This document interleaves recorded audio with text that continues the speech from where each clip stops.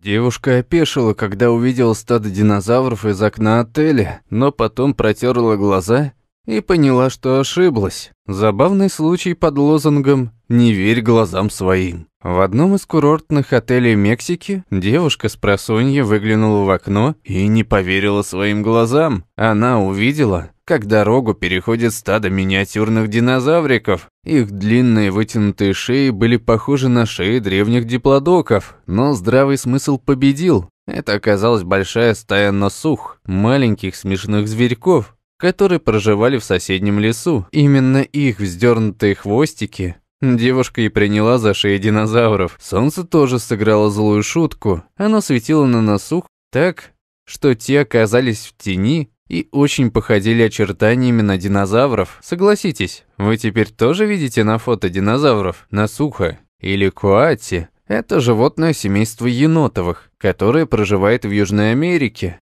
Вытянутые мордочки и полосатые хвосты делают их очень забавными. Они часто радуют туристов, когда резвятся на приотельных лужайках и в тенистых парках.